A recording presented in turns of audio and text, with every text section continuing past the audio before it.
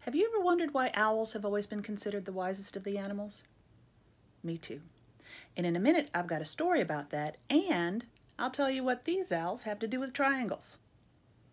Hold on, I'm to be right back.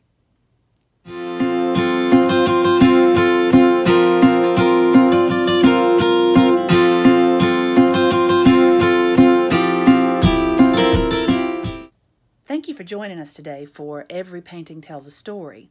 I'm Kimberly Nail Gales, and I'm going to share with you in just a moment what owls and triangles might have to do with each other. But if you're enjoying my stories, and I hope that you are, please make sure that you hit subscribe and ring that notification bell so that you know when the next story comes out.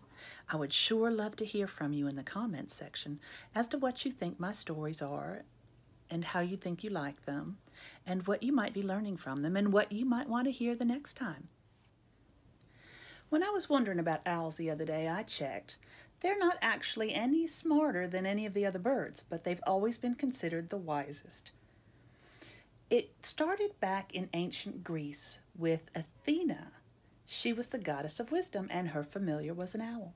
So, with those big eyes that see everything, and the fact that he was associated with Athena, got the owls to be considered the wisest, even though they're not that much better smarter than the other birds. But you know what they can do? They have some primitive tool use. And what I mean by tool use is that the burrowing owl can actually lure his prey. Pretty darn smart for a bird to actually lure your prey out to catch him. They are pretty smart. Today's painting is called Owl Triangle Family, and I made it for my son Justin, his wife Calissa, and our grandbaby Willow. Let me show you this picture. Hold on. See? Here we have the daddy, the mama, and the baby owl. And what they have here is a triangle family. And these owls are sitting in a dogwood tree, because dogwoods were my favorite when I grew up. Dogwood tree, and it's the night's coming on. You can see the night clouds in the back. Mm-hmm.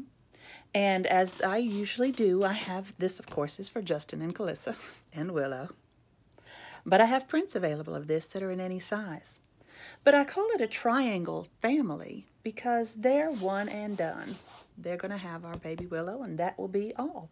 Triangle families are a new phenomenon. They're not really that new, but there are a lot of families who are deciding to dedicate their time and their resources to raising just one child and raising that child well.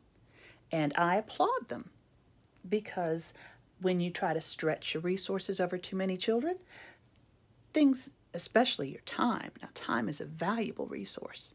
They can spend so much time with Willow that she will be amazing. Now, those of us, and of course I come from a larger family, a lot of people my age did, we worry about the children being lonely, but there are so many triangle families now that they are building a network amongst themselves. Children who have the same triangle families have a lot in common, and they grow to be very, very close friends.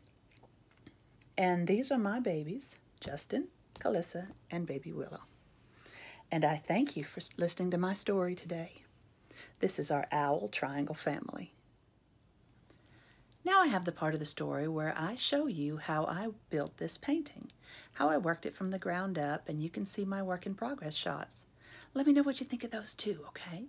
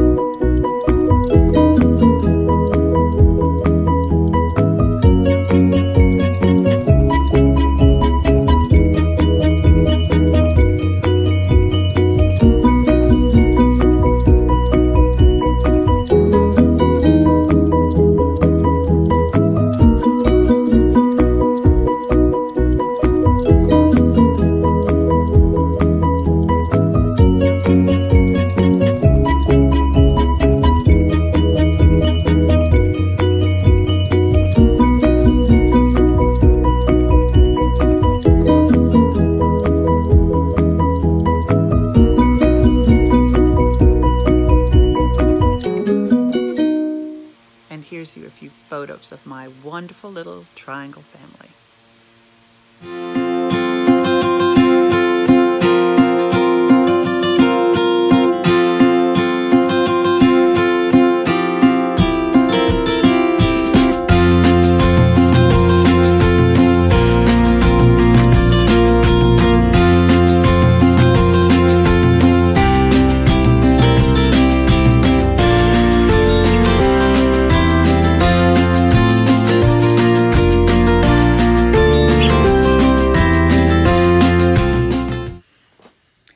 About wraps up our story for today, The Owl Triangle Family.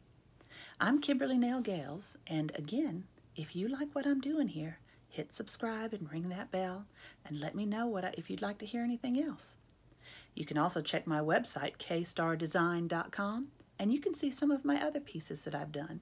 If there's anything that catches your eye that you'd like to hear the story about, leave that in the comment section and I'll try to get that one shown for you. I'll talk to you the next time. Bye bye.